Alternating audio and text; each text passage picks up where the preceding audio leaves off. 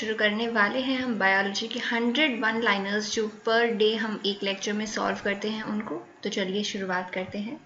सवाल पहला, देखिए in addition to genomic DNA यानी कि जो नॉर्मल पूरा जीनोम जिसके अंदर है डीएनए जो बैक्टीरिया का उसके अलावा जो है एक स्मॉल सर्कुलर डीएनए और पाया जाता है। बैक्टीरिया के अंदर आपको उसका नाम बताना है कि ये जो स्मॉल सर्कुलर डीएनए है, ये इसको किस नाम से जाना जाता है? और इसके लिए जो नाम दिया गया है अलग से वो है प्लास्मिड ठीक है? अगला सवाल है कि वैक्यूल्स जो है वो मुख्यतः किस, कौन सी कोशिका में पाई जाती हैं? पादप कोशिका के अंदर या फिर जंतु कोशिका में? तो वैक्यूल्स जो है, वो यूजुअली प्लांट सेल्स के अंदर पाई जाती हैं और ये पूरा अगर साइटोप्लाज्म देखें तो बहुत बार तो उसका 80 परसेंट एरिया जो है वो सिर्फ़ और सिर्फ़ वैक्यूल से बना हुआ होता है, इतनी ज़्यादा होती है। तो एनिमल सेल जो है, जंतु कोशिका के अंदर बहुत ही रेयरली मिलती हैं वैक्यूल्स अगला लाइसोसोम्स के बारे में पूछा है तो लाइसोसोम्स के बारे में हमें ये तो मालूम है कि स्यूसाइडल बैग्स के नाम से इनको जाना जाता है बट इनके अंदर ऐसा क्या होता है जिसकी वजह से ये स्यूसाइडल होते हैं? तो इनके अंदर हाइड्रोलाइटिक एंजाइम्स होते हैं। ये एंजाइम्स हर तरह के होते हैं, जैसे कार्बोहाइड्रेट को डाइजेस्ट करने के लिए एंजाइम्स होते हैं, यहाँ पे लाइपेजेस होते हैं। तो ये जिस तरह के भी कंपाउंड जो है लाइसोसोम के पास में आते हैं, उन सबको डाइजेस्ट कर लेते हैं और उसको एकदम से खत्म कर देते हैं। ठीक है? तो क्या प्रेजेंट होता है लाइसोसोम्स के अंदर? हाइड्रोलाइटिक एंजाइम्स नेक्स्ट है कि जो वैक्यूल है वैक्यूल की मेम्ब्रेन को क्या बोला जाता है? वैक्यूल की मेम्ब्रेन इंपॉर्टेंट है अगेन वैक्यूल की मेम्ब्रेन को जाना जाता है टोनोप्लास्ट के नाम से। अगला सवाल देखते हैं। बैक्टीरिया जो है, बहुत सारे बैक्टीरिया जो है मूव कर पाते हैं। उनके अंदर मोटिलिटी होती है, एक जगह से दूसरी जगह चल सकते हैं वो। और ये जो एक्टिविटी होती है उनके अंदर, वो किसकी मदद से होती है? वो होती है फ्लैजल्ला की हेल्प से। बैक्टीरिया को यूजुअली इस तरह से हम रिप्रेजेंट करते हैं। कुछ बैक्टीरिया के अंदर इस तरह से एक एंड पे एक फ्लैजल्ला होते हैं।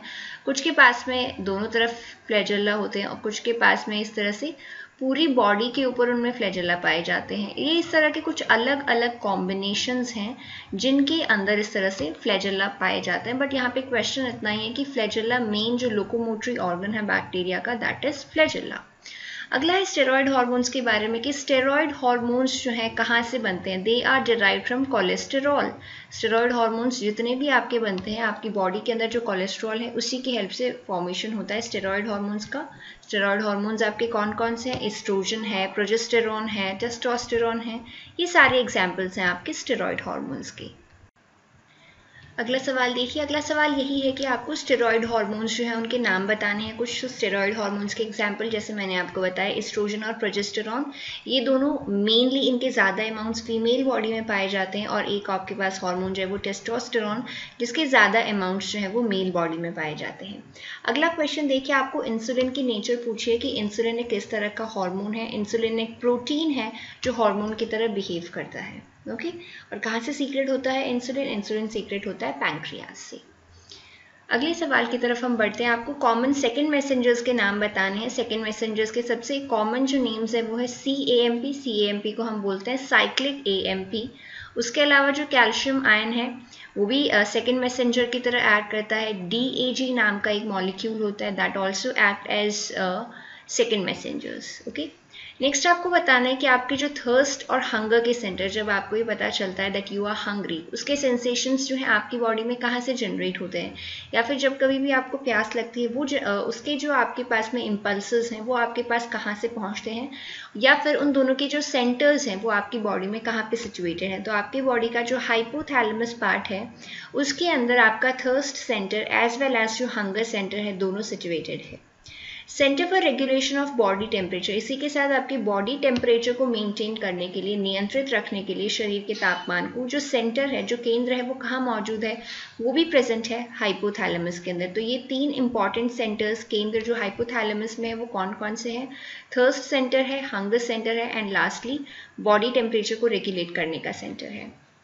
अगला सवाल है the sleep patterns are affected by the secretions of sleep patterns के ऊपर इफ़ेक्ट डालने वाला आपको एक हार्मोन का नाम बताना है तो आपके ब्रेन के अंदर ही एक और ग्लैंड है that is pineal gland pineal ग्रंथि के जो सीक्रेशंस हैं, वो आपके जो स्लीप पैटर्न्स है, आपकी जो स्लीप वेक साइकिल है, उसको इफ़ेक्ट करती हैं okay okay? The two parts of pituitary gland pituitary gland के दो पार्ट आपको बताने पिट्यूटरी ग्लैंड इस तरह की एक स्ट्रक्चर होती है जिसमें दो पार्ट्स होते हैं। एक होता है इंटीरियर पिट्यूटरी और दूसरा होता है पोस्टीरियर पिट्यूटरी ओके okay, तो इसमें एंटीरियर पिट्यूटरी जो है उससे बहुत सारे हार्मोन्स रिलीज़ होते हैं। लेकिन पोस्टीरियर पिट्यूटरी से सिर्फ़ दो ही हार्मोन रिलीज़ होते हैं तो वो ज़्यादा इंपॉर्टेंट हो जाता है। और वो दोनों हार्मोन्स कौन से हैं? वो दोनों हार्मोन्स हैं। पहला है ऑक्सीटोसिन और दूसरा है एडीएच एडीएच को एक और नाम से भी जाना जाता है which is vasopressin okay vasopressin ठीक है। अगले सवाल में आपको एडीएच के फुल फॉर्म पूछिए। एडीएच होता है आपका एंटी डायूरेटिक हार्मोन यानी ये वो हार्मोन है, जब कभी भी आपकी बॉडी में वाटर की डेफिशिएंसी हो जाएगी तो ये जाकर के कहाँ पे ऐड करेगा? ये जाकर के आपकी किडनीज में जो नेफ्रॉन है, वहाँ पे ऐड करेगा और जो भी एक्सेस वाटर बॉडी से बाहर जा रहा था, उसको वापस एब्जॉर्ब करके बॉडी के अंदर ही रख लेगा। ठीक है? तो ये डायूरेसिस जो है, उसके खिलाफ काम करता है।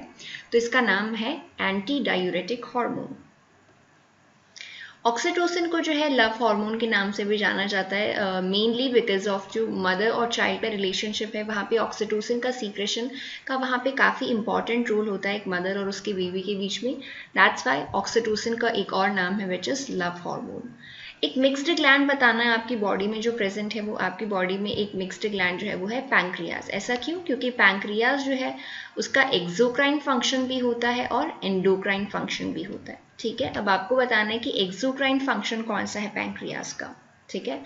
तो एक्सोक्राइन पार्ट वो होता है किसी भी ग्लैंड का, जब उसके पास में प्रॉपर डक्ट्स जो है, वो अवेलेबल होती हैं अपने सीक्रेशंस को किसी भी दूसरी जगह पे पहुँचाने के लिए। वहीं एंडोक्राइन ग्लैंड्स जो होती हैं, उनके पास में अपने डक्ट्स जो हैं, वो नहीं प्रेजेंट होते हैं। और डक्ट नहीं होने की वजह से यहाँ पे क्या होता है, ये जो सीक्रेशंस हैं, या फिर जो हॉर्मोन्स हैं, वो डायरेक्टली ब्लड के अंदर एम्प्टी कर दिए जाते हैं और ब्लड के थ्रू ही वो पहुँचते हैं जहाँ कहीं भी उन्हें फाइनली पहुँचना होता है। बट ऐसा एक्जोक्राइन पार्ट के साथ नहीं होता है।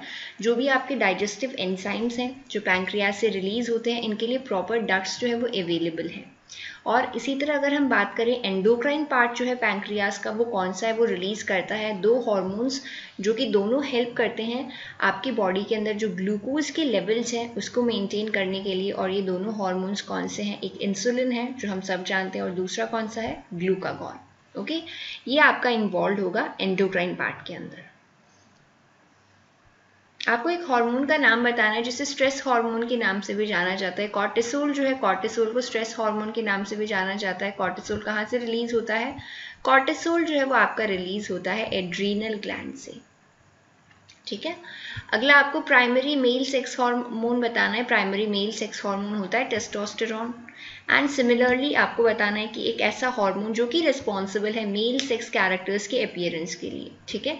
वो अगेन कौन सा है? आपका टेस्टोस्टेरोन जो पैटर्न हेयर ग्रोथ होता है उसके अलावा जो मसल मास का फॉर्मेशन है इस तरह के जो मेल कैरेक्टर्स प्यूबर्टी के टाइम पे डेवलप होते हैं वॉइस में जो चेंजेस हैं फेशियल हेयर का डेवलपमेंट है ये सारे होते हैं बिकॉज़ ऑफ़ अ हार्मोन जो कि है टेस्टोस्टेरॉन जो कि मेल्स के अंदर प्राइमरी सेक्स ऑर्गन होता है सेक्स uh, हार्मोन होता है सॉरी नॉट ऑर्गन हार्मोन आपको बताना है जो स्पर्मेटोजेनेसिस को रेगुलेट करता है। स्पर्मेटोजेनेसिस क्या होता है? वो प्रोसेस जिसमें स्पर्म्स का फॉर्मेशन होता है। उसे हम कहते हैं स्पर्मेटोजेनेसिस स्पर्मेटोजेनेसिस के लिए अगेन जो हार्मोन रिस्पॉन्सिबल है, वो कौन सा हार्मोन है? वो है टेस्टोस्टेरॉन ठीक है? तो टेस्टोस्टेरॉन के सारे फ़ंक्शन यहाँ पे एक जगह पे मैंशन है। आपको आसानी से ये याद हो जाएँगे। नेक्स्ट इज़ टेस्टोस्टेरॉन का फॉर्मेशन कहाँ पे होता है? टेस्टोस्टेरॉन का फॉर्मेशन होता है टेस्टिस के अंदर। A hormone important for physical changes physical changes कौन कौन से प्यूबर्टी के टाइम पे फ़िज़िकल चेंजेस की बात की जा रही है अगेन जैसे कि development of penis testicle facial hair का डेवलपमेंट बॉडी हेयर का डेवलपमेंट मसल ग्रोथ ये सारे कौन से हार्मोन के इन्फ्लुएंस में होते हैं? ये सब होते हैं टेस्टोस्टेरॉन के इफ़ेक्ट में। ठीक है? तो या तो अगर आपको इस तरह से एक्सप्लेन करके पूछा जाए, इनमें से कोई भी एक कैरेक्टर पूछा जाए आपसे कि जो फेशियल हेयर का ग्रोथ है मेल्स के अंदर, वो कौन से हार्मोन की वजह से होता है? टेस्टोस्टेरॉन की वजह से। या फिर सिंपली आपको इन सब की जगह एक वर्ड अगर दे दिया जाए कि जो मेल सॉरी कि जो मेल कैरेक्टर्स हैं प्यूबर्टी के टाइम पे जो डेवलप होते हैं, जैसे यहाँ पे आपसे पूछा है 323 के अंदर तो ये कैरेक्टर्स जो है, ये किसकी वजह से होते हैं? टेस्टोस्टेरॉन की वजह से। नेक्स्ट uh, आपको बताना है कि कौन से हॉर्मोन्स हैं जो ओवरी से रिलीज़ होते हैं। तो ओवरी से दो हार्मोन रिलीज़ होते हैं और वो दोनों हार्मोन्स कौन कौन से? एक एस्ट्रोजन है और दूसरा प्रोजेस्टेरॉन है। कौन सा हार्मोन है जो ब्रेस्ट के डेवलपमेंट को स्टिमुलेट करता है प्यूबर्टी के टाइम पे? तो प्यूबर्टी के टाइम पे वो हार्मोन जो ब्रेस्ट के डेवलपमेंट को स्टिमुलेट करता है वो कौन सा होता है? एस्ट्रोजन ठीक है?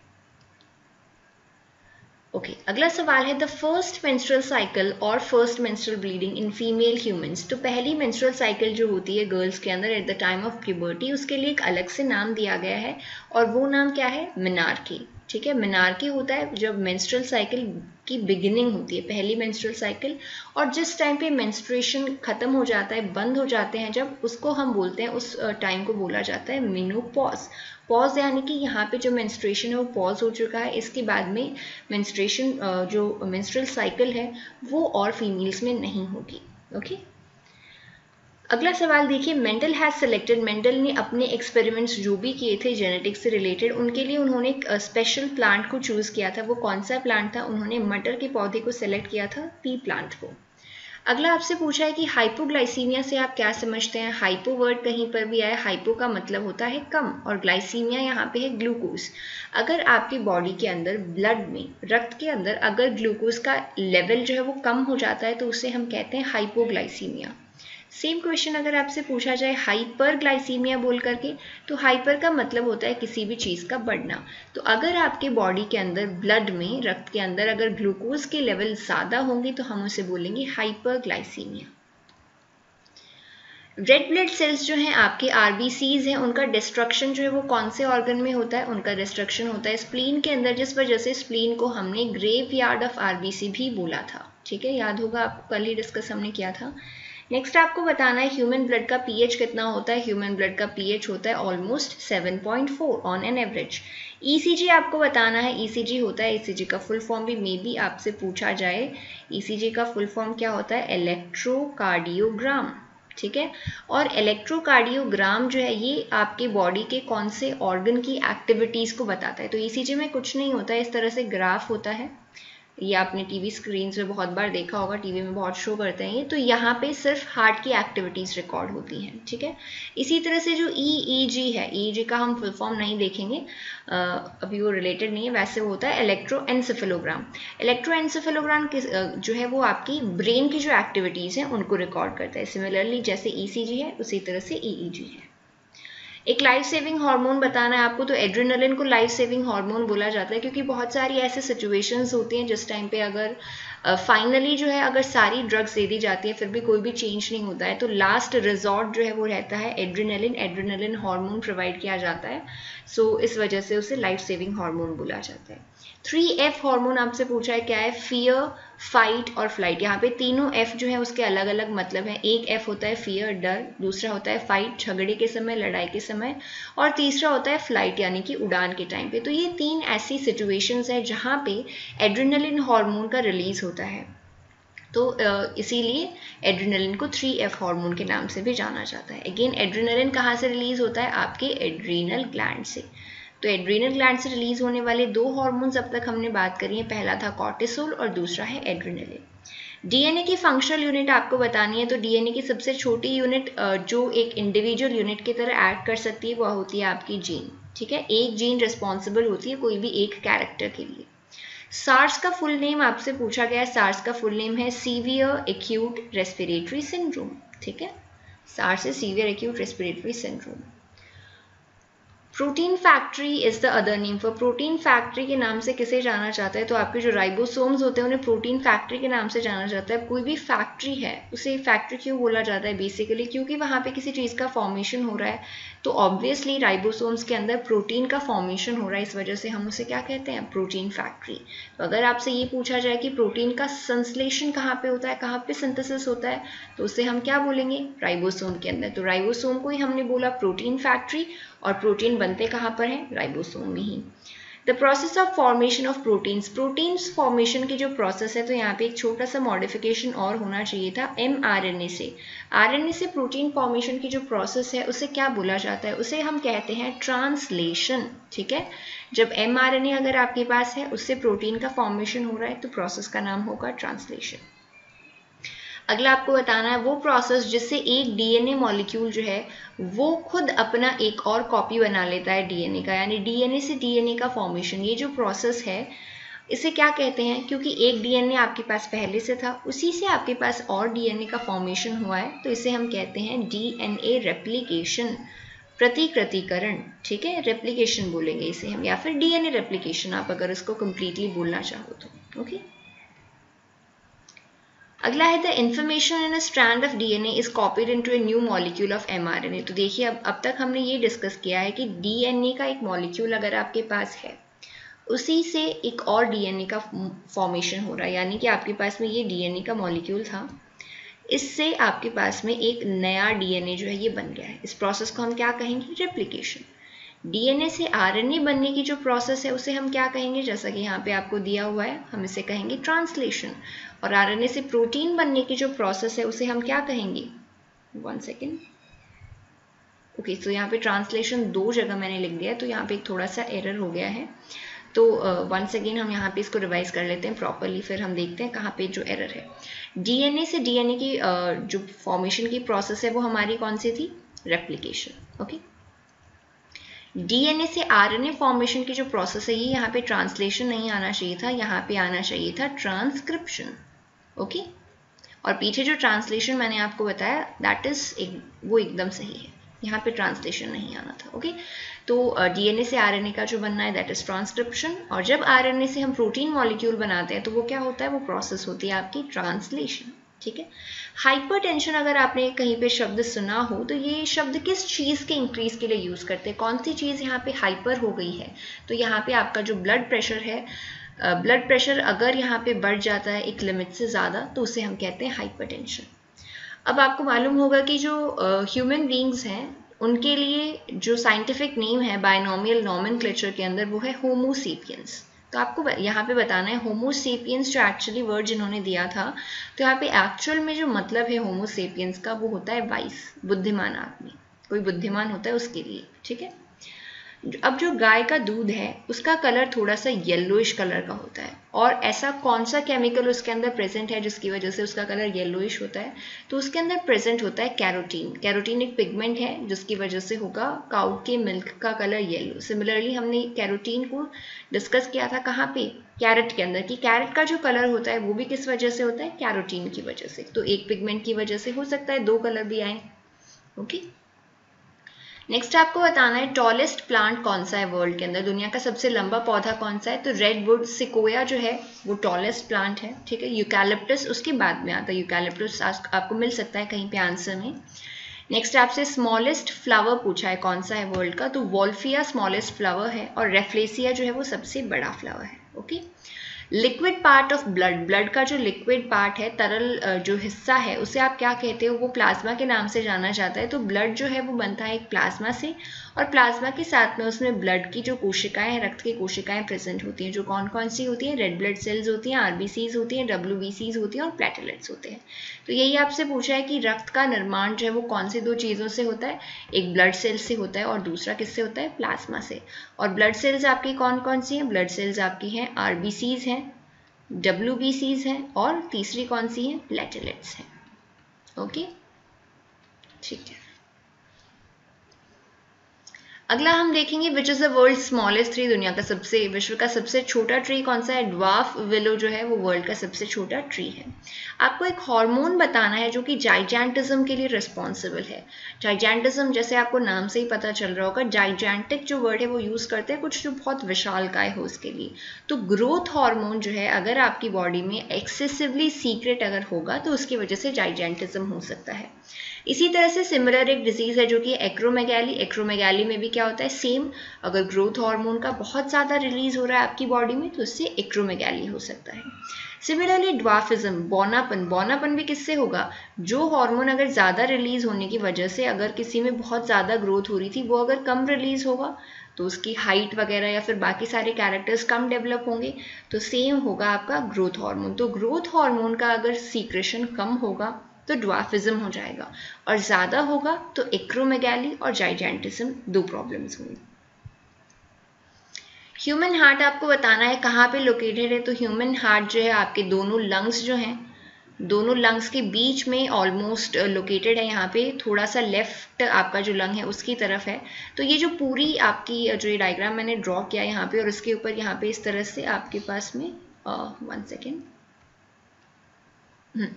इस तरह से यहाँ पे ऊपर से आपके पास में रिब्स प्रेजेंट होती है, यहाँ पे जो आपको एक्सटर्नली फील होती होंगी।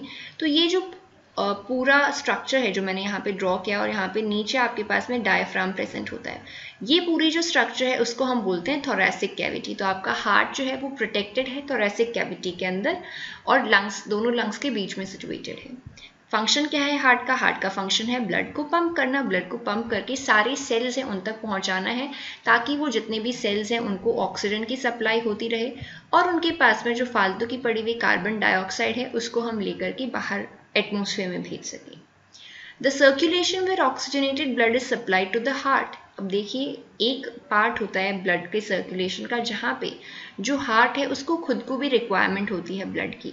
तो हार्ट से ही शुरू होने वाली ब्लड वेसल्स जो हैं, वो हार्ट को ही सप्लाई करती हैं। And this kind of circulation is known as coronary circulation important question है मे बी आपसे पूछा जाए। ठीक है तो आपने अभी तक पल्मनरी सर्कुलेशन सुना होगा सिस्टमिक सर्कुलेशन सुना होगा, उसके साथ साथ में one more is present which is coronary circulation सबसे बड़ी आर्टरी आपको बतानी है largest artery of the body largest artery of the body कौन सी है? आपकी एओटा महाधमनी। अब आपका जो हार्ट है, उसके जो ब्लड रिसीविंग चैम्बर्स हैं, उनको आपको नाम बताना है, उनके नेम्स क्या होंगे? ये हमने हार्ट ड्रॉ किया। हार्ट के जो ऊपर के चैम्बर्स होते हैं आपके, जो एट्रियम है, वो क्या करते हैं? उनके पास में हमेशा ब्लड जो है वो आता है। वो ब्लड रिसीव करते हैं बाकी सारी बॉडी से। और जो वेंट्रिकल्स है, वो पूरी बॉडी के अंदर ब्लड पंप करेंगे। ठीक है? तो एट्रिया जो है, उनको रिसीविंग चैम्बर्स बोला जाता है। ये रक्त रक्त जो है, पूरी बॉडी से प्राप्त करते हैं। और जो वेंट्रिकल्स हैं, वो सारे चैम्बर्स के अंदर, सारे आपके जो बॉडी के पार्ट्स हैं, उनके अंदर भेजते हैं ब्लड को। ओके तो रिसीविंग चैम्बर्स कौन से हो जाएँगे? आपके एट्रिया उसके अलावा ज़्यादा मसल्स की रिक्वायरमेंट जो है यहाँ पे, ये जो वॉल्स की अगर हम बात करें तो यहाँ पे बहुत ज़्यादा मसल्स की रिक्वायरमेंट होती है वेंट्रिकल्स को। ठीक है?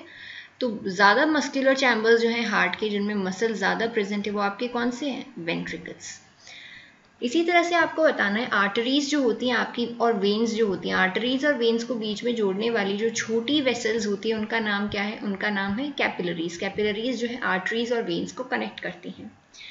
डीऑक्सीजनेटेड ब्लड यानी कि ऑक्सीजन रहित जो ब्लड है, जो रक्त है, वो हृदय में ले जाने का कार्य कौन करती है? वेन्स करती है। वेन्स कैसे ब्लड कैरी करती है? इम्प्योर आप बोल सकते हो या फिर डीऑक्सीजनेटेड ब्लड और वेन जो आर्टरीज हैं, वो किस तरह का ब्लड कैलकुलेट कैरी करती है? Oxygenated blood the valve located between the left ventricle and the aorta left ventricle और एओटा के बीच में यानी अगर ये पूछा जाए आपसे एओटा के ओपनिंग uh, के अंदर कौन से वॉल्व प्रेजेंट हैं तो उन वॉल्व्स का नाम है आपका सेमी लूनर वॉल्व्स ठीक है?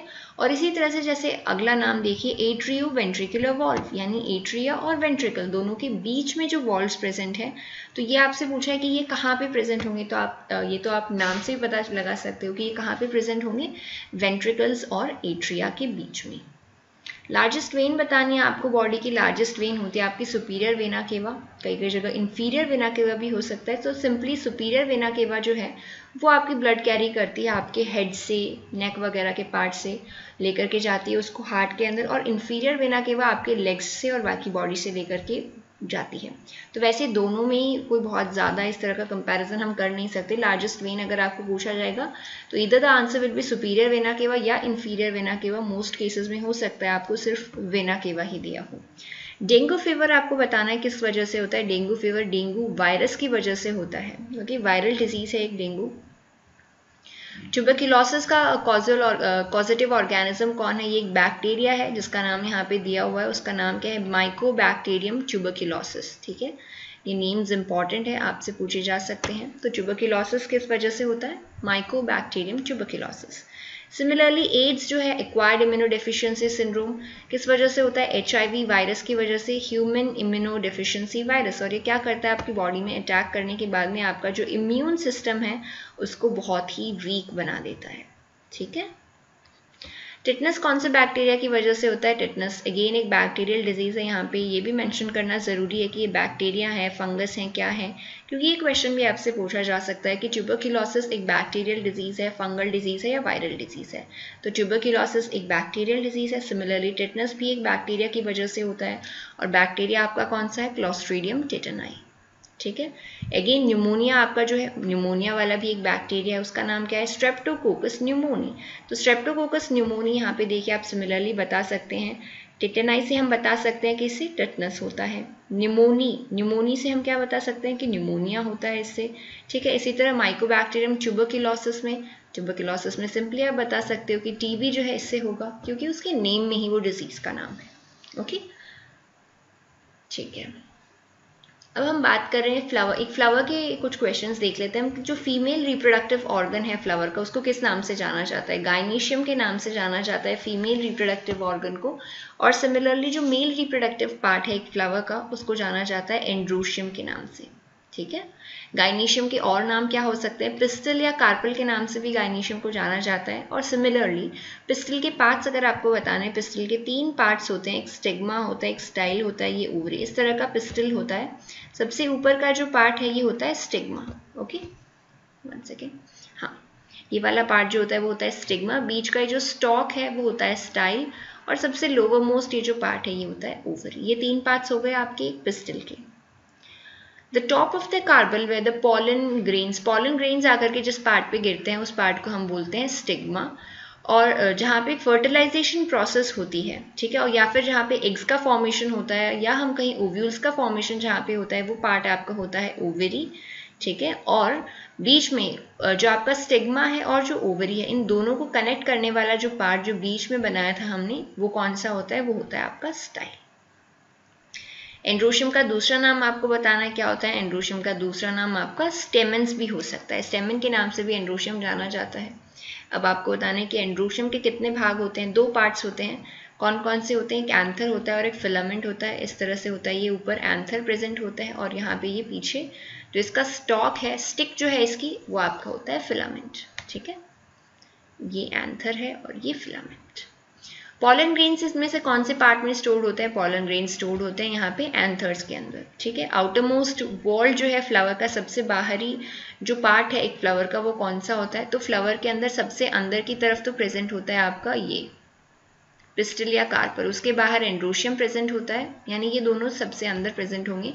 उसके बाद में आपके जो पेटल्स हैं, ठीक है? पेटल्स आपके प्रेजेंट होते हैं उसके बाहर, ठीक है? ये कलरफुल से हमने पेटल्स शो करे हैं। और सबसे बाहर अगर आप बताएँ तो जो लीव्स होती हैं फ्लावर के ऊपर, जो प्रेजेंट होती हैं, वो सबसे बाहर होती हैं, ठीक है? तो सबसे बाहर कौन पाया जाएगा? सबसे बाहर पाए जाते हैं आपके सेपल्स जो ग्रीन कलर की लीव्स होती हैं, वो फ्लावर के सबसे बाहर होती हैं। उसके बाद में कौन कौन आती है? जो आपके कलरफुल पेटल्स होती हैं, जो पंखुड़ियाँ होती हैं, वो उसके बाद में आती है पेटल्स तो सेकेंड बोल किस, कौन सा बोलेंगे हम? सेकेंड जो उसका सर्कल बनेगा, वो किसका बनेगा? पेटल्स का, और पेटल्स को कोरोला के नाम से भी जाना जाता है। अब बताइए कि पेटल्स जो है वो कलरफुल क्यों होते हैं? उनके कलरफुल होने के पीछे कोई रीज़न है क्या? तो देखिए, इस तरह के जो फ्लावर्स होते हैं, उनके अंदर जो पॉलिनेशन है, वो यूजुअली इंसेक्ट से होते हैं, ठीक है? और इंसेक्ट्स को अट्रैक्ट करने के लिए पेटल्स जो है वो कलरफुल होते हैं। तो पेटल्स कलरफुल क्यों होते हैं? Because they attract insects and animals for pollination pollination जो प्रोसेस है उसके लिए। फर्टिलाइजेशन जहाँ कहीं भी होता है, चाहे वो प्लांट्स में हो, चाहे एनिमल्स में हो, कहीं पे भी हो फर्टिलाइजेशन से हमेशा फॉर्मेशन किस चीज़ का होता है? जाइगॉट का होता है, ठीक है? फर्टिलाइजेशन के बाद में जो ओव्यूल्स हैं, जो आपकी ओवरी थी ओवरी के अंदर आपकी ओव्यूल्स प्रेजेंट थे, ठीक है? ये ओव्यूल्स जो हैं फर्टिलाइजेशन के बाद में सीड में कन्वर्ट हो जाते हैं और ये जो ओवरी है, वो फॉर्मेशन किसका करती है? फ्रूट का। ठीक है? तो फ्रूट आपका जो बना है बेसिकली जो हम खाते हैं, वो किसी टाइम पे कोई फ्लावर की ओवरी थी। और जो सीड्स हैं, वो सीड्स के अंदर पाए जाने वाले ओव्यूल्स थे। ओके तो ये दोनों सीड्स और फ्रूट का जो फॉर्मेशन ये होता है फर्टिलाइजेशन के बाद में। Okay the blood vessels which are located deep in the body कौन सी ब्लड वेसल्स होती हैं जो आपकी बॉडी के अंदर डेप्थ में सिचुएटेड होती है, गहराई में स्थित होती है, वो होती हैं आपकी आर्टरीज और जो सुपरफिशियली विजिबल आपको होती है, वो ज़्यादातर होती हैं वेन्स वेन्स जो है वो ब्लू कलर की अपियर होती है ब्लू कलर की क्यों अपियर होती हैं? क्योंकि इनके अंदर डी ऑक्सीजनेटेड ब्लड होता है। तो हमने इसको इम्प्योर इसीलिए बोला था क्योंकि यहाँ पे ऑक्सीजन की जो क्वांटिटी है वो कम होती है और आर्टरीज को सिमिलरली हम कहते हैं कि आर्टरीज रेड कलर की अपियर होती है क्योंकि उनके अंदर प्योर ब्लड प्रेजेंट होता है। हाईली मस्कुलर ब्लड वेसल्स तो देखिए ब्लड वेसल्स में हमारे पास में आर्टरीज आती हैं वेन्स आती हैं और कैपिलरीज आती हैं। इन तीनों के अंदर आपको बताना है कि मसल सबसे ज़्यादा किसमें होती हैं? बेहद मांस वाली रक्त वाहिकाएँ कौन सी होती हैं? तो वो होती हैं आपकी आर्टरीज इनके अंदर मसल लेयर जो होती है, वो काफ़ी थिक होती है वेन्स और कैपिलरीज के कंपेरिजन में।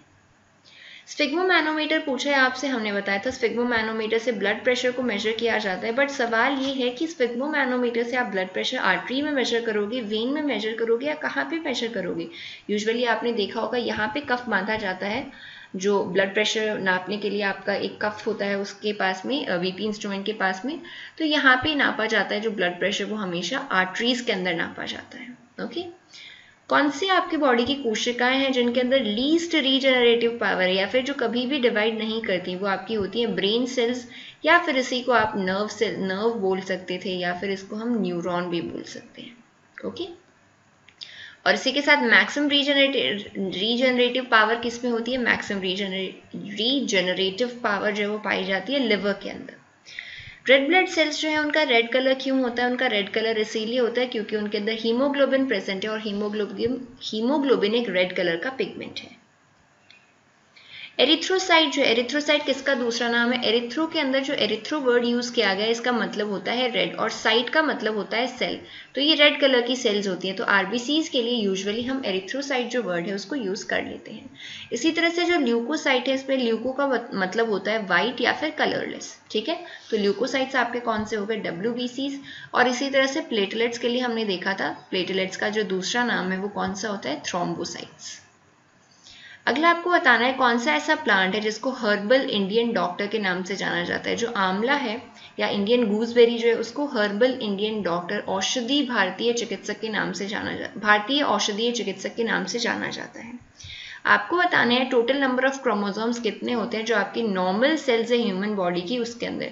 तो 46 नंबर ऑफ़ क्रोमोजोम्स जो है वो आपकी बॉडी की हर सेल के अंदर प्रेजेंट है। चाहे वो आपकी हेयर की कोई सेल हो ब्लड की कोई सेल हो, सब सेल्स के अंदर। बट यहाँ पर भी ये 46 जो है, इसमें हम स्पर्म और ओवम की बात नहीं कर रहे हैं। इसीलिए यहाँ पे ओवम सेल्स बोला है। स्पर्म और ओवम में 46 क्रोमोजोम नहीं होते हैं। इनमें सिर्फ़ 23 क्रोमोजोम्स होते हैं। ठीक है? तो ये हंड्रेड एम सी क्यूज जो यहाँ पे खत्म होते हैं। Thank you and have a nice day